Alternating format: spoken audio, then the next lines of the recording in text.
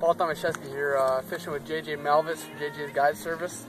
Put us on these walleyes tonight and uh, just pulled out a nice 23, 24 incher. We got a you know, beautiful night here, but we're gonna let uh, let this girl go back down the hole. So she can spawn. Nice thick fish here.